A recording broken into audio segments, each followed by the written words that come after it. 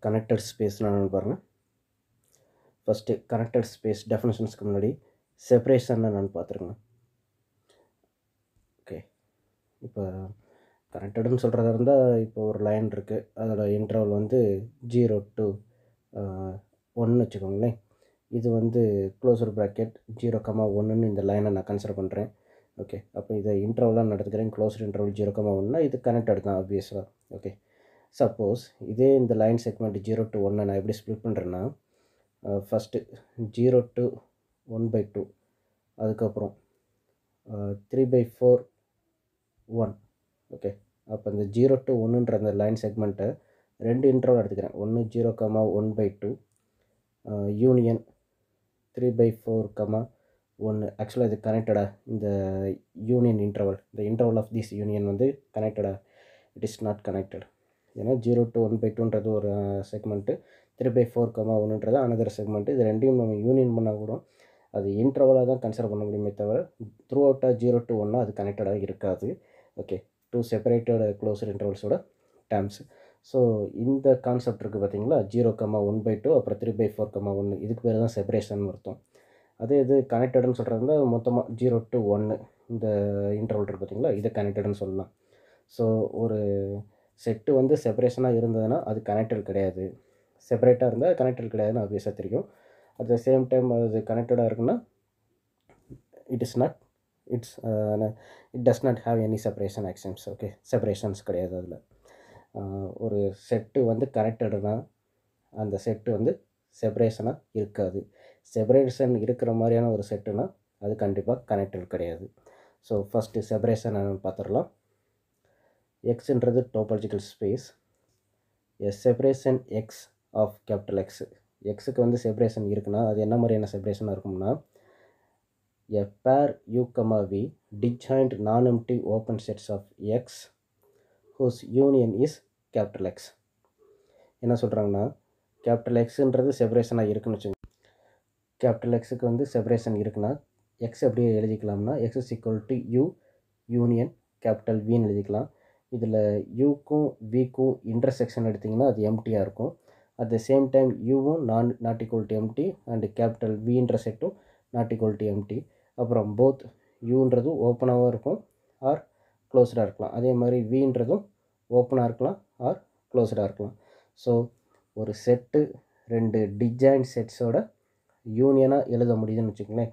அந்த sets maybe open or க்ளோஸ்டாக இருக்கலாம். அப்படி இருந்ததுன்னா அந்த செட்டு கேபிட்டல் எக்ஸுக்கு பேர். செப்ரேஷன் அர்த்தம். அதான் கேபிட்டல் எக்ஸோட செப்ரேஷன் அர்த்தம். ஓகே இதே இது இந்த கான்செப்ட் எழுத முடியலை இது ஒர்க் அவுட் ஆகலை அப்படின்னா அந்த செட்டு எக்ஸை வந்து என்னென்னு சொல்லிக்கலாம்? கனெக்டட்னு சொல்லலாம். ஸோ கேபிட்டல் எக்ஸ் செப்ரேஷன்னா இதுதான் அதோட டெஃபினேஷன்ஸ் இப்படி இருக்கோம்ல இந்த கான்செப்ட்ஸ் தான் எக்ஸோட செப்ரேஷனோட டெஃபினேஷன்ஸ் இந்த மாதிரி எழுத முடியலை எக்ஸ் அப்படின்னா எக்ஸ் வந்து கனெக்டட் ஸோ செப்பரேஷன் ஆஃப் எக்ஸ்ன்றது பேர் ஆஃப் டிஜாயின் நான் எம்டி செட்ஸோட யூனியனை தான் செப்பரேஷன்னு சொல்லிடுறோம். அதே இது capital X கனெக்டடுனா if there does not exist a separation of X அதாவது எக்ஸை செப்பரேட் பண்ணி எழுத முடியாதுன்னு அர்த்தம். எப்போ எக்ஸு கனெக்டடுனா ஓகே ஸோ செப்பரேஷன்னா செப்பரேட் பண்ணி ரெண்டு செட்டோட டிசைன் செட்ஸாக செப்பரேட் பண்ணி எழுதலாம். அப்படி எழுத முடியல அப்படின்னா செப்பரேஷன் எக்ஸிஸ்ட் ஆகலை அப்படின்னா அந்த செட்டை ஸ்பேஸ் என்னன்னு சொல்லிக்கலாம். கனெக்டட் ஸ்பேஸ்னு சொல்லிக்கலாம். ஓகே கீழே பாருங்களேன்.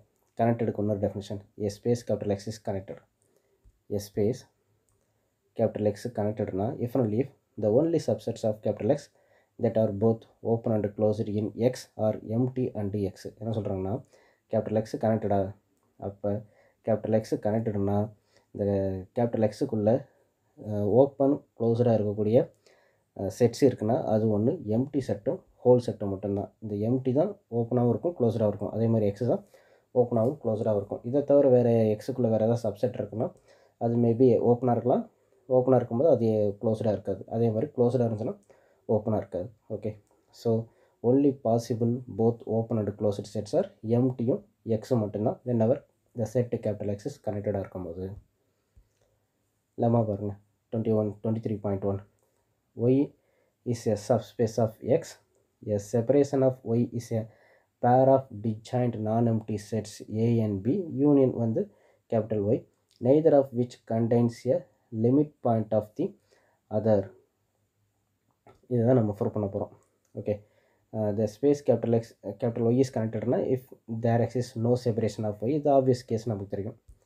ஓகே ஸோ நம்ம ப்ரூவ் பண்ண போகிறது இந்த கேஸை தான். இஃப் அண்ட் லிஃபாக ப்ரூவ் பண்ண போகிறோம் என்ன சொல்கிறாங்கன்னா ஒய்ன்றது uh, எக்ஸோட சப் சப்ஸ்பேஸாக uh, இருக்குது சப்செட்டாக இருக்குது சப்ஸ்பேஸ் அஸ் வெல் அஸ் இப்போ ஒய்க்கு வந்து செப்பரேஷன் இருக்குது அப்படின்னா அந்த ஒய் என்னவாக இருக்குன்னா ரெண்டு செட்ஸோட டிஜாயிண்ட் யூனியன்ஸாக எழுத முடியுது. யூனியன் ஆஃப் எழுத முடியுது. ஓகேங்களா டிஜாயிண்ட் யூனியன்ஸாக கேபிட்டல் ஒய்யை எழுத முடியுது. இப்போ இந்த ஏன்ற செட்ஸோட லிமிட் பாயிண்ட்ஸ்லாம் இருக்குது பார்த்தீங்களா ஏன்ற செட்ஸோட லிமிட் பாயிண்ட்ஸ் அதெல்லாம் பிக்குள்ளே இருக்காது. அதே மாதிரி பியோட லிமிட் பாயிண்ட்ஸ்லாம் இருக்குது பாருங்கள் அதெல்லாம் ஏக்குள்ளே இருக்காது. இதை தான் அவங்க இஃபனோ லிஃப் கேஸாக சொல்ல வராங்க. அதாவது ஒய்க்கு செப்பரேஷன் இருக்கா? அப்போ ஏவோட லிமிட் பாயிண்ட்ஸ் பியில் இருக்காது பியோட லிமிட் பாயிண்ட்ஸ் ஏல இருக்காது. அதே மாதிரி லிமிட் பாயிண்ட்ஸ் எல்லாம் ஒரு செட்டுக்கு இன்னொரு செட்டுக்கு இல்லை அப்படின்றப்ப ஒய் வந்து செப்பரேஷன் எக்ஸிஸ்ட் ஆகுன்றாங்க சரி ப்ரூஃப் பார்த்துடலாம். Suppose A B form a separation of Y அப்படின்னு அர்த்தம் ஒய்யை வந்து ஏ யூனியன் பியாக எழுத முடியுது. At the same time A intersection B என்னவாக இருக்கும்? எம்டியாக இருக்கும். ஏவும் not equal to empty and பியும் நாட் ஈக்குவல் டு எம்டியாக இருக்கும். ஓகே நெக்ஸ்ட் பாருங்கள் A is both open and closed in capital Y ஏன்றது என்னவாக இருக்கலாம். போத் ஓப்பனாகவும் இருக்கலாம். ஆஸ் வெல் அஸ் க்ளோஸ்டாகவும் இருக்கலாம். இப்போ closure of A in Y is the set A bar intersection Y இப்போ ஏவோட ஏன்றது என்னவாக இருக்குது ஒய்க்குள்ளே ஓப்பனாகவும் இருக்குது அஸ் வெல் அஸ் க்ளோஸ்டாகவும் இருக்குது ஏன்றது subset of Y as well as இது subset of capital X so ஏவோட க்ளோசர்னு சொல்லும் போது அது என்னவாக இருக்கும்? ஏ பார் இன்டர்செக்ஷன் ஒய்யாக தான் இருக்கும். Okay so A bar intersection Y is closed in capital Y அதே இது A bar is the usual denotes the closure of A in X ஏவோட க்ளோசரை ஏ பார்னு சொல்லுவோம். ஓகே ஆனால் ஏன்றது ஒய்க்கு மட்டும் சப்செட் கிடையாது. அதோட ஹோல் ஸ்பேஸ் கேபிட்டல் எக்ஸுக்கு சப்செட்ன்றப்ப ஏவோட க்ளோசர் கண்டிப்பாக எதில் இருக்கும். எக்ஸுக்கு தான் சப்செட்டாக இருக்கும். சரி. இப்போ க்ளோசர் ஆஃப் ஏ இன் ஒய்யிலே இருக்குன்னு வச்சுங்களேன் அப்போ என்னவாக இருக்கும்? ஏ பார் அதாவது closure of A in capital ஒய்யில் சொல்கிறதா இருந்தால் ஏ பார் இன்டர்செக்ஷன் ஒய்ன்னு தான் சொல்ல முடியும். இதுதான் க்ளோசர் ஆஃப் ஏன்னு சொல்ல முடியும். இன் கேபிட்டல் ஒய்யில் வெறுமனை சொல்கிறதா இருந்தால் ஏ பார் சப்செட் ஆஃப் எக்ஸ்ன்னு தான் சொல்ல முடியும். ஸோ ஏவோட க்ளோசர் ஒய்யில் இருக்குன்னா ஏ பார் இன்டர்செக்ஷன் ஒய்ன்றது தான் closure of A in capital Y தனியாக க்ளோசர் சொல்கிறதா இருந்தால் அது வந்து எக்ஸில் மட்டும்தான் க்ளோஸராக இருக்கும். ஏ பார்ன்றது எக்ஸோட எக்ஸுக்குள்ளே இருக்கக்கூடிய க்ளோசர் ஏ பார் இன்டர்செக்ஷன் ஒய்ன்றது ஒய்க்குள்ளே இருக்கக்கூடிய க்ளோசர் ஓகே இப்போ ஏன்றது என்ன தெரியும்? ஒய்க்குள்ளே க்ளோசர்னு தெரியும். So A so A's equal to ஏன்னா ஏன்றது ஒய்க்குள்ளே க்ளோஸ்டு தானே? A's subset of Y and is closed in ஒய்க்குள்ளேயே closed அது. So A bar intersection Y is nothing but capital ஏவாக தான் இருக்கும். அதுதான் A's equal to A bar intersection ஒய்னு சொல்லியாச்சு. Okay இப்போ ஏ பார் இன்டர்செக்ஷன் பி என்னவாக இருக்கும்? ஈக்குவல் டு எம்டியாக இருக்கும். ஏன்னா ஏ இன்டர்செக்ஷன் பி என்னவாக இருக்குது எம்டின்னு நமக்கு தெரியும். ஏன்னா ஒய்ன்றது செப்பரேஷன் ஆஃப் த டேர்ம் நீங்கள் சொல்லியிருப்பீங்களே அப்படின்றப்ப A intersection B empty and இப்போ ஏ பார் இன்டர்செக்ஷன் பி என்னவாக இருக்கும்னு கேட்டிங்கன்னா A bar intersection that is okay இப்போ A's equal to A bar intersection ஒய்ன்னு வந்துருச்சு. நமக்கு தெரியும் A intersection B equal to empty ஏன்னா ஏயும் பியும் டிஜாயின் செட்ஸு சரி இப்போ இந்த கேபிட்டல் ஏக்கு பதில் நம்ம என்ன செய்யலாம்? இந்த ஏ பார் இன்டர்செக்ஷன் ஒய்யை ரீப்ளேஸ் பண்ணலாம். அப்படி ரீப்ளேஸ் பண்ணிங்கன்னா A bar intersection Y intersection B equal to எம்டின்னு வரும். இந்த A bar intersection Y intersection B இந்த ஒய்க்கு பதில் என்ன செய்யலாம்னா நீங்கள் ஒய்க்கு பதில் ஏ யூனியன் பி போடுங்க. அப்புறம் செட் தியரி லாஜிக்லாம் யூஸ் பண்ணிட்டிங்கன்னா ஃபைனலாக உங்களுக்கு என்ன கிடைக்கும்னா ஏ பார் இன்டர்செக்ஷன் பின்னே கிடச்சிரும். விச் இஸ் ஈக்குவல் டு எம்டினே வந்துடும் இந்த ஒய்க்கு பதிலாக இந்த ஏ யூனியன் பியை ரீப்ளேஸ் பண்ணிங்கன்னா செட் தியரி லாஜிக் இங்கே கடைசி யூஸ் பண்ணும்போது A bar intersection B C equal to எம்டின்னு வந்துடும் அதனால தான் இங்கே டேரெக்டாக A bar intersection B C equal to எம்டின்னு prove பண்ணியிருப்பாங்க ஓகே ரைட் ஏ பார்ன்றது யூனியன் ஆஃப் ஏன்ற செட்டோட ஏன்ற செட்டும் அந்த ஏன்ற செட்டோட லிமிட் பாயிண்ட்ஸோட ரெண்டு செட்டோட யூனியன் தான் ஏ பார்ன்றது ஓகே அப்போ ஏ பார்க்குள்ளே என்ன இருக்கும்? ஏ பார்க்குள்ளே ஏன்ற செட்டும் அந்த ஏன்ற செட்டோட லிமிட் பாயிண்ட்ஸும் சேர்ந்து இருக்கும்.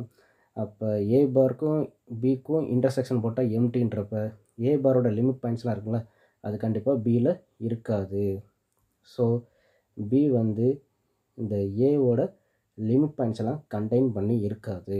Contains no limit points of A இப்போ எப்படி ஏவை டார்கெட் பண்ணி பி வந்து ஏவோட லிமிட் பாயிண்ட்ஸ்லாம் கண்டெயின் பண்ணியிருக்காது அப்படின்னு சொன்னோமோ அதே மாதிரி பியை டார்கெட் பண்ணி ஏ வந்து பியோட லிமிட் பாயிண்ட்ஸ் எல்லாம் கண்டெயின் பண்ணியிருக்காதுன்னு சிம்லர் கேஸ் சொல்லிடலாம். அப்போ செப்பரேஷன்லேருந்து லிமிட் பாயிண்ட்ஸ் வந்து ஒரு செட்டு இன்னொரு செட்டுக்குள்ளே இருக்காதுன்ற மாதிரி சொல்லியாச்சு. இப்போ கான்வர்ஸ் பாட்டு சொல்ல போகிறோம் suppose A and B are disjoint non empty sets okay whose union is capital Y neither of which limit points contains a limit point the others அதாவது என்ன அர்த்தம்னா இப்போ ஏயும் பி ஏயும் பியும் டிஜைன் செட்ஸு ஒய்ன்றது ஏ யூனியன் பியாக இருக்குது அண்டு ஏவோட லிமிட் பாயிண்ட்ஸ் எல்லாம் பியில் இருக்காது. அதே மாதிரி பியோட லிமிட் பாயிண்ட்ஸ் எல்லாம் ஏல இருக்காது. ஏல இருக்காது. Okay then A bar intersection B C code என்னவாக இருக்கும்? கண்டிப்பாக எம்டியாக மாறிடும்.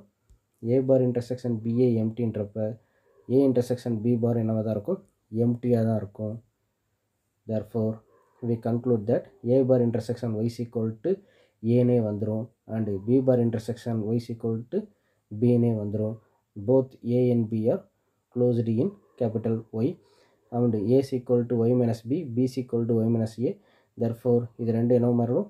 ஓப்பனாகவும் மாறிடும். அப்போ separation வந்துருச்சுங்களா?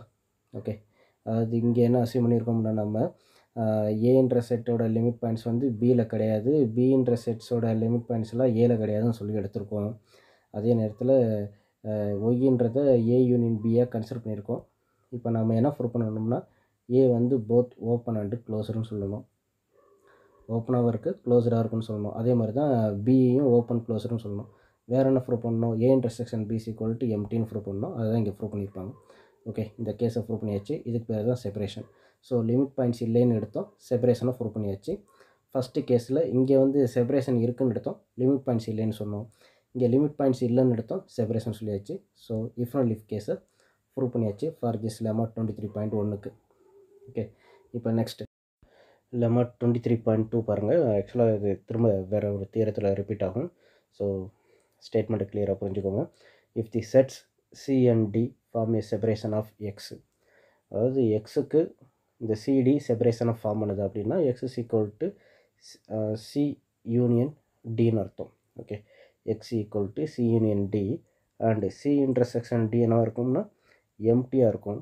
சியும் not equal to empty and டியும் not equal to எம்டியாக இருக்கும்.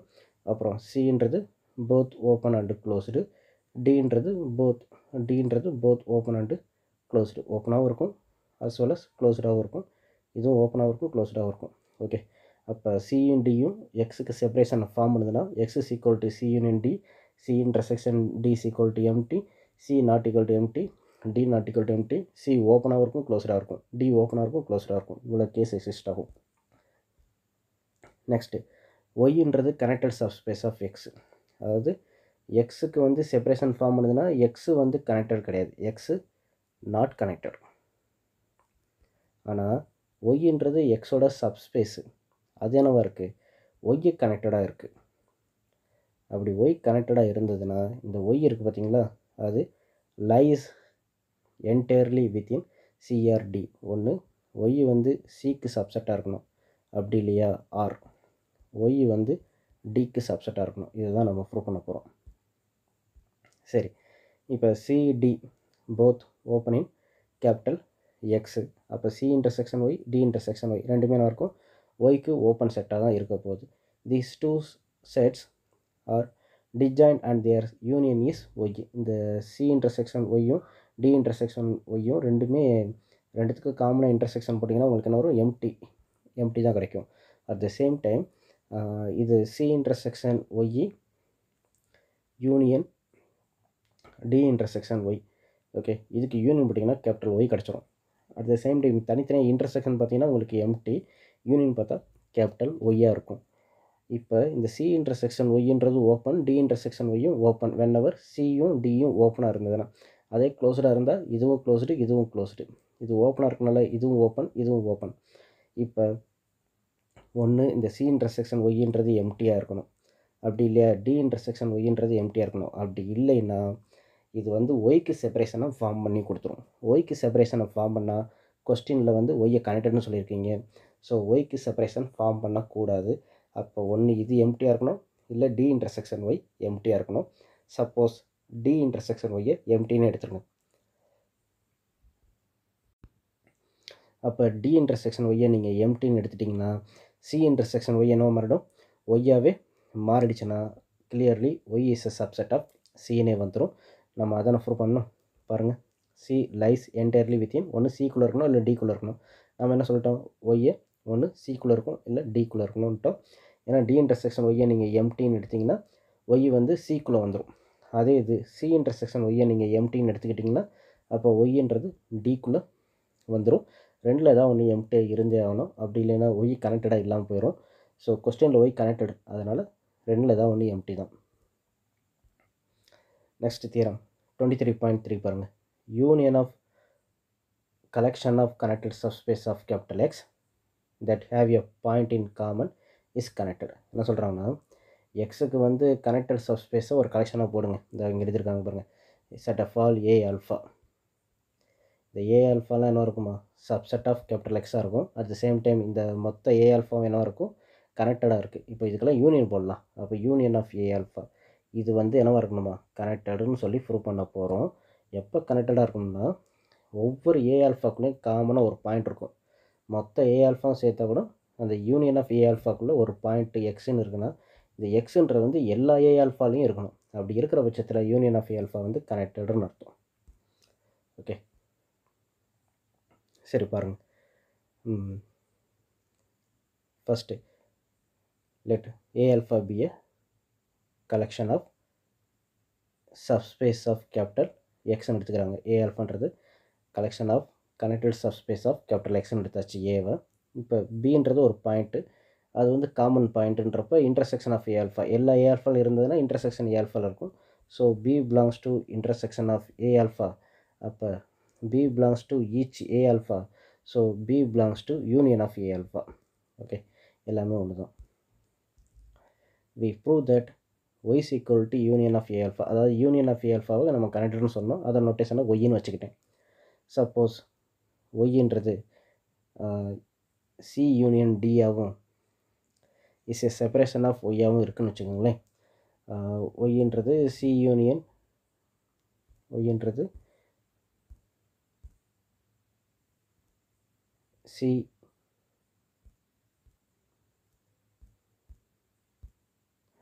சி யூனியன் டியாக இருக்குது அப்புறம் C intersection D equal to எம்டியாக இருக்குது C not equal to empty D not equal to empty சின்றது open closed டின்றது ஓப்பன் க்ளோஸ்டு இருக்குது அப்போ ஒய்ன்றது செப்பரேஷனாக மாறிடும். அந்த மாதிரி நான் கன்சிடர் பண்ணிக்கிறேன். ஓகேங்களா? கன்சிடர் தான் பண்ணிக்கிறேன். ஒய் ஈக்குவல் டு ஏன்னா சப்போஸ் தான் எடுக்கிறோம். Suppose Y equal to C union D இது வந்து செப்பரேஷன் ஆஃப் ஒய்யாக எடுத்துக்கிறேன். இப்போ பின்றது என்னவா இருக்குது இந்த யூனியன் ஆஃப் ஏ ஆல்ஃபாக்குள்ளே இருக்குது அப்படின்னு அர்த்தம். பி பிலாங்ஸ் டு ஒய்க்குள்ளே இருக்குது இந்த ஒய்ன்றது என்னவா இருக்குது சி யூனியன் டி அப்போ P belongs to C union டின்னு வந்துடும் P belongs to C union D அப்போ சி யூனியன் டின்றப்போ ஒன்று பி சிக்குள்ளே இருக்கணும் ஆர் பி டிக்குள்ளே இருக்கணும். So P is the point the set C or D இப்போ பி வந்து சிக்குள்ளே தான் இருக்குது சின்ஸ் ஏ ஆல்ஃபாவில் என்னவா இருக்குது connected so it much must lies entirely in C or D அதாவது இப்போ பின்றது வந்து சிக்குள்ளே மட்டும்தான் இருக்குது டியில் இல்லை. பின்ற பாயிண்ட்டு சிக்குள்ளே தான் இருக்குது அதே நேரத்தில் பின்ற பாயிண்ட்டு ஏ ஆல்ஃபாக்குள்ளே இருக்குது எல்லா ஏ ஆல்ஃபாலையும் அப்புறம் ஏ ஆல்ஃபா கனெக்டட் வேறு. ஸோ கண்டிப்பாக என்னவாக இருக்கும்? இந்த எல்லா ஏ ஆல்ஃபாவும் சிக்கு சப்செட்டாக தான் இருக்கும். இந்த லெமாவே பார்த்துருந்தோம் நம்ம. ஏன்னா கனெக்டடாக இருக்கும்போது கண்டிப்பாக அது என்ன இருக்கும்? ஏதர் சி ஆர் டின்னு சொல்லி படித்தோமா போன லெமாவில் அதே கேஸு தான். So A alpha must lies entirely in C இல்லை டியில் இருக்கணும். But it cannot be lie in D ஏன்னா பின்றது ஏ ஆல்ஃபாக்குள்ளே இருக்குது பின்றது டிக்குள்ளே இல்லை. ஸோ ஏ ஆல்ஃபா சிக்குள்ளே மட்டும்தான் இருக்கும். இந்த இங்கே ரீசன் சொல்லியிருக்காங்க பாருங்கள் பிகாஸ் இந்த பின்ற பாயிண்ட் சிக்குள்ளே தான் இருக்குது டிக்குள்ளே இல்லை. ஸோ ஏ ஆல்ஃபா சிக்கு தான் சப்செட்டு ஓகே அப்போ என்ன வந்துருச்சு? ஏ ஆல்ஃபா எல்லா ஏ ஆல்ஃபாவும் எல்லா ஏ ஆல்ஃபாவும் சிக்கு சப்செட்டு அப்போ யூனியன் ஆஃப் ஏ ஆல்ஃபாவும் என்ன தான் இருக்கும்? சிக்கு சப்செட்டாக தான் வரும். So union of A alpha subset of சின்னு வந்துருச்சு. ஆனால் இந்த யூனியன் ஆஃப் ஏ ஆல்ஃபா தான் என்ன எடுத்துருக்கீங்க? கேபிட்டல் ஒய்ன்னு எடுத்து வச்சுருக்கீங்க. கேபிட்டல் ஒய் என்ன பண்ணியிருக்கீங்க சி யூனியன் டின்னு எடுத்தீங்க. இப்போ கேபிட்டல் ஒய் சிக்குள்ளேயே வந்துருச்சுன்னா டிஏ தேவைப்படாதுல்ல. ஸோ இது வந்து contradiction so it is contradiction அப்போ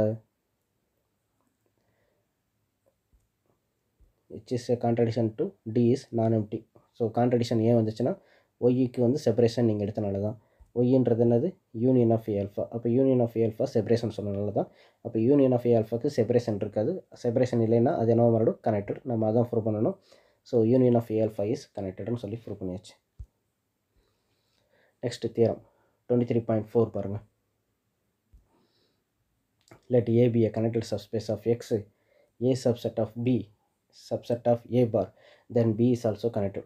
ஏன்றது கனெக்டடு இந்த பின்ற செட்டு வந்து ஏக்கும் ஏ பாருக்கும் நடுவில் இருக்குன்னு வச்சுங்களேன் அப்போ பின்ற செட்டும் கண்டிப்பாக கனெக்டடாக தான் இருக்கும். ப்ரூஃப் கீழே பாருங்கள் இதோட ஸ்டேட்மெண்ட்டை சென்டென்ஸ் மேக்கிங்கில் அங்கே கொடுத்துருப்பாங்க. நம்ம டேரெக்டாக ப்ரூஃப் வரலாம் லெட் ஏன்றது connected A subset of B subset of A பார்னு கொடுத்துருக்காங்க. நம்ம என்ன ப்ரூவ் பண்ணோம் பி வந்து கனெக்டடுன்னு தான் சொல்ல போகிறோம் சப்போஸ் கனெக்டட் இல்லை. கனெக்டட் இல்லைன்னா அர்த்தம்? செப்பரேஷன் இருக்குது அப்போ பிக்கு வந்து செப்பரேஷன் இருக்குது B C equal to C union டின்னு எடுத்தாச்சு. Lemma twenty three point two படி ஏன்றது கனெக்டடு ஓகே அப்போ ஏன்றது கனெக்டடு பி வந்து கனெக்டட் கிடையாதுன்னா இந்த ஏன்ற செட்டு கண்டிப்பாக ஒன்று சிக்குள்ளே இருக்கணும் இல்லை டிக்குள்ளே இருக்கணும் by lemma two point three two படி. சப்போஸ் ஏன்றது சிக்குள்ளே இருக்குது ஓகே அப்போ ஏ பார் சி பார்க்குள்ளே இருக்கும். சி பாரும் டி பாரும் என்னவா சி பாரும் டி என்னவாக இருக்கும்.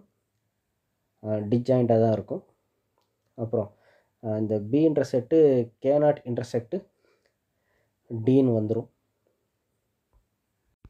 ஏன்னா பின்றது சப்செட் ஆஃப் ஏ பார்னு தெரியும். அப்புறம் இந்த ஏ பார் வந்து சி பாருக்கே சப்செட்டு தான். ஸோ பின்றது சி பாருக்கு சப்செட்டாக வந்துருச்சு.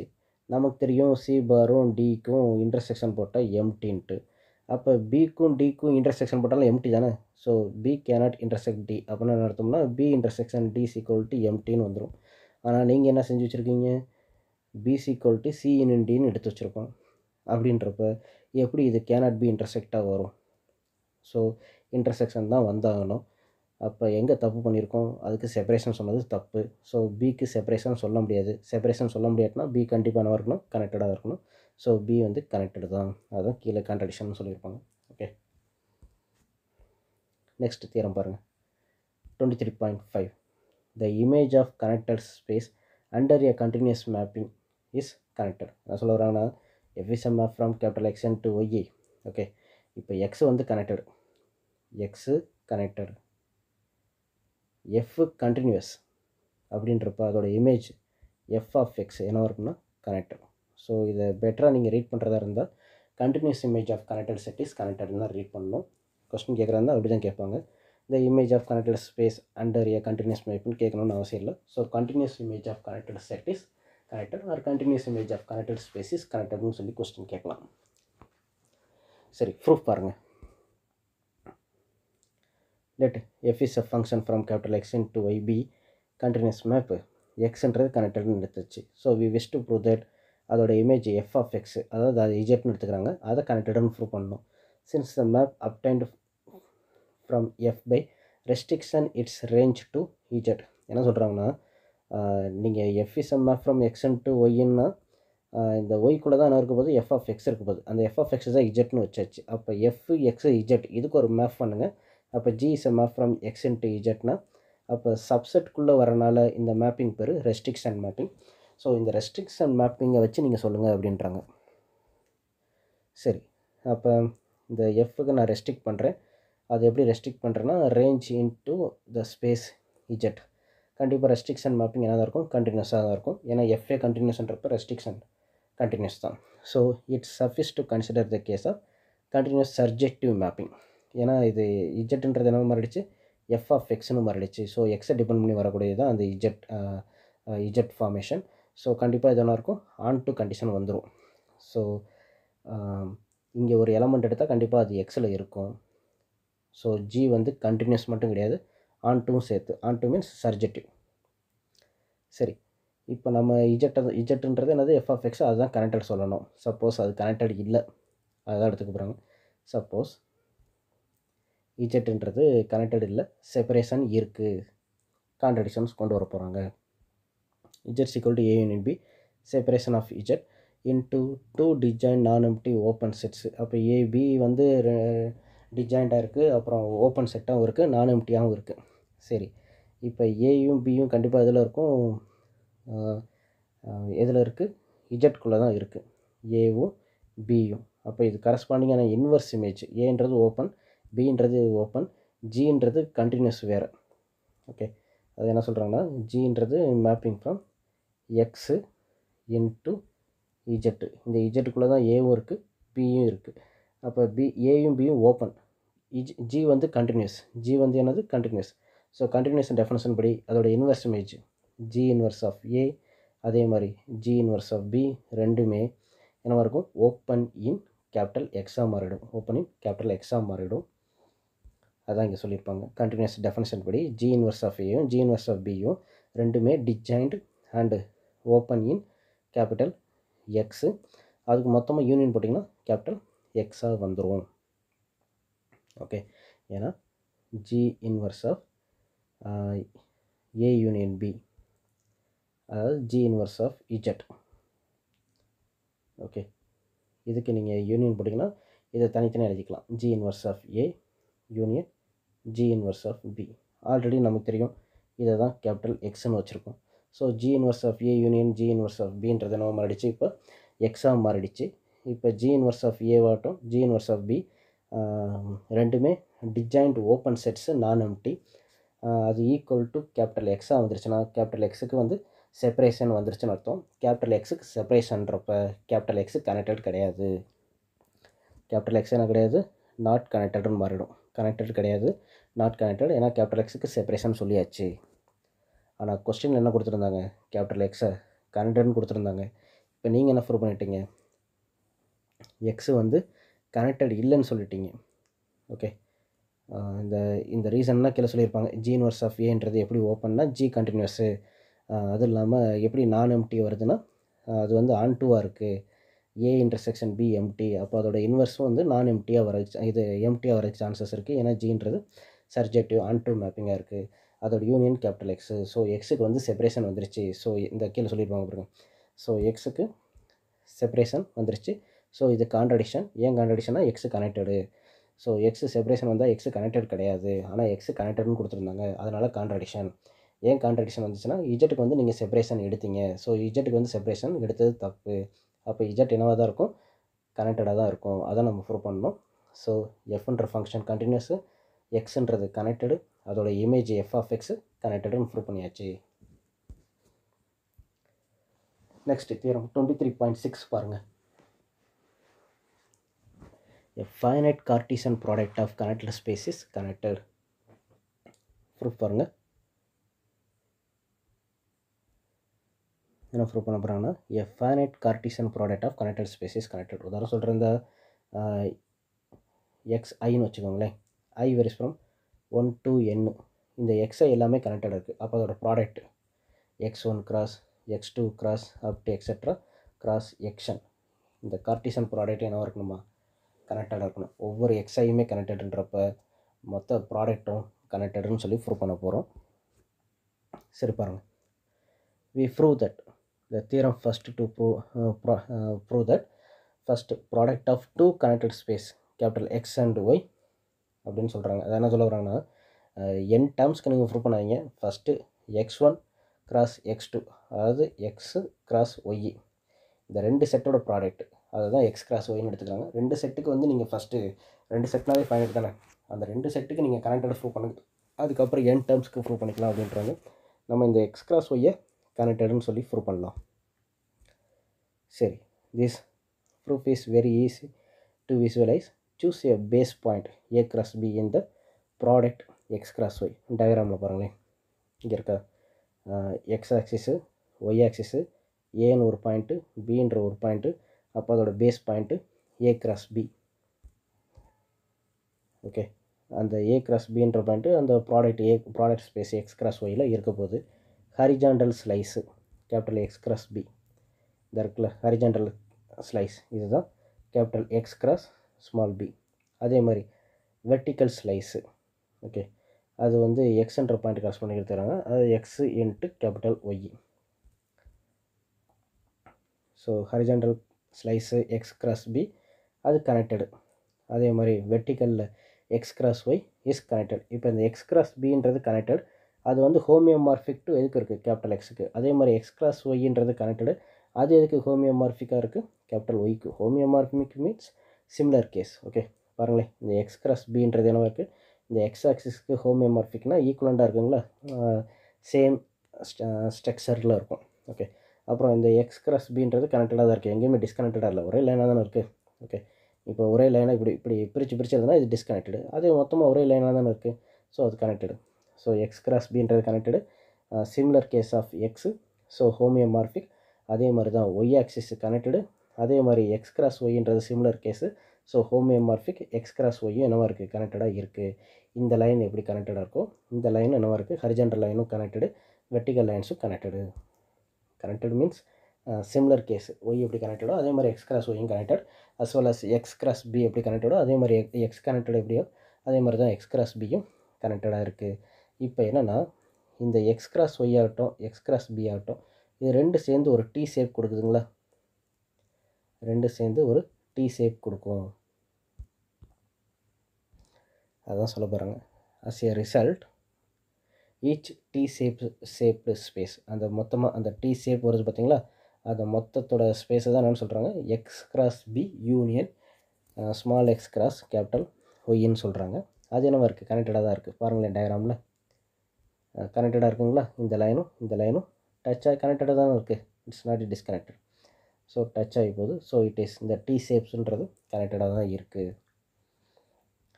being the union of two connected space that have the point X cross B in common என்ன சொல்ல வராங்கன்னா இதுவும் கனெக்டடு இந்த லைனும் கனெக்டடு இந்த லைனும் கனெக்டடு இதில் காமனாக ஒரு பாயிண்ட் வருது. அந்த பாயிண்ட்டு பேர் தான் அது எக்ஸ் கிராஸ் பி பாருங்கள் அந்த எக்ஸ் கிராஸ் பின்ற பாயிண்ட் வந்து இந்த இன்டர்செக்ட் ஆகிற இடத்துல இருக்குங்களா? ஓகே ஸோ காமன் பாயிண்ட் இருக்குன்றனால அந்த ரெண்டு கனெக்டடும் யூனியன் போட்டிங்கனாலும் கனெக்டடாக இருக்கும். நம்ம தீரமே பார்த்தோம்ல ரெண்டு செட்டு வந்து கனெக்டட்னா அதோட யூனியன் எப்போ கனெக்டடாக இருக்கணும்? அந்த ரெண்டு செட்டோட இதுலேயும் காமனாக ஒரு பாயிண்ட் இருக்குது அது யூனியனுக்குள்ளேயும் வந்துருச்சுன்னா அது என்னென்னு சொல்லிக்கலாம். அந்த யூனியனாக கனெக்டட்னு சொல்லிக்கலாம். ஸோ இதுக்குள்ளேயும் எக்ஸ் கிராஸ் பி இருக்குது இதுக்குள்ளேயும் எக்ஸ் கிராஸ் பி இருக்குது இதுவும் கனெக்டடு இதுவும் கனெக்டடு அப்போ அதோடய யூனியன் டி ஷேப்பு அது என்னவாக இருக்கும்? கனெக்டடாக இருக்கும். சரி இந்த கீழே சொல்லியிருப்பாங்க. சரி யூனியன் ஆஃப் டிஎக்ஸ் இப்போ எப்படி ரெண்டு லைன் வச்சு சொன்னோமோ அதே மாதிரி என்ன செஞ்சுக்கலாம்? ஒரே ஒரு டீ தானே வச்சோம். ஒரே ஒரு டீ தான் ஃபார்ம் பண்ணியிருக்கோம். இதே மாதிரி எத்தனை டீ ஃபார்ம் பண்ணலாம்? இங்கே ஒரு டீ ஃபார்ம் பண்ணலாம். இந்த இடத்துல ஒரு டீ ஃபார்ம் பண்ணலாம். இந்த மாதிரி இந்த இடத்துல ஒரு டீ ஃபார்ம் பண்ணலாம். அப்போ மொத்தமாக எவ்வளவோ டீ ஃபார்மேட் பண்ணலாம். இந்த மொத்த டீ ஃபார்மேட்லேயும் கண்டிப்பாக ஏதாவது ஒரு பாயிண்ட் என்ன இருக்கும்? காமனாக இருந்து தான் ஆகும். நீங்கள் மொத்த டீயும் கனெக்ட் பண்ணி பாருங்கள் கண்டிப்பாக காமனாக ஒரு பாயிண்ட் இருந்தே ஆகும். So union of T X of all these T shaped spaces எல்லாம் என்னவாக தான் இருக்கும்? கண்டிப்பாக கனெக்டடாக தான் இருக்கும். Because is the union having a collection of connected space and common point A cross பின்ற இந்த க ஏ கிராஸ் பின்ற பாயிண்ட் வந்து காமனாக இருக்கும். ஏன்னா நம்ம ஏன்றதும் பின்றது ஆர்பிட்ரி பாயிண்ட்ஸ் தானே. நீங்கள் வேணால் அதை டிபெண்ட் பண்ணி இந்த இங்கே உள்ள டி ஷேப்ஸ் பாருங்களேன். இந்த இருக்குது பாருங்கள் டி ஷேப்ஸ் இது ஒரு டி ஷேப்ஸ் இது ஒரு டி ஷேப்ஸ் இது ஒரு டி இது ஒரு டி எல்லாத்துலேயும் ஏ கிராஸ் பின்ற காமனாக இருக்குங்களா? ஸோ டி ஷேப்பில் ஃபுல்லாக ஏ கிராஸ் பின்ற பாயிண்ட் வந்து காமனாக இருக்கும் ஸோ மொத்த யூனியன் ஆஃப் டிஎக்ஸ் என்னவாக இருக்கும்? கனெக்டடாக மாறிவிடும். அந்த யூனியன் ஆஃப் டிஎக்ஸ் தான் மொத்த product X N X one cross of T etcetera X N so இது வந்து எதுக்கு ஐசோமர்ஃபிக்காக இருக்கும்னா அந்த எக்ஸ்என்னுக்கு ஐசோமார்பிக்காக இருக்கும் அப்படின்ற மாதிரி சொல்லுவாங்க. பிரித்து X N X one cross ஆஃப்ட் extra xn minus ஒன்லாம் மொத்தமாக ஒரு செட்டாகவும் எக்ஸ்என்னை தனியாக ஒரு செட்டாகவும் போட்டு இந்த இது வந்து ஹோமியோமார்ஃபிக் டு எக்ஸ்என்னாக இருக்கும் அப்படின்னு சொல்லியிருப்பாங்க. மற்றபடி நம்ம சொல்ல போகிறது இந்த ஹோமியோமார்ஃபிக் கான்செப்ட் படி இதுதான் அந்த யூனியன் ஆஃப் டிஎக்ஸு அதை தான் நம்ம கனெக்டடுன்னு இங்கே சொல்லியிருப்போம் so X X one cross ஆஃப்ட் extra எக்ஸ்ன்றது கனெக்டட் தான். So final product of connected spaces கனெக்டட்னு சொல்லி முடிச்சிருப்போம்.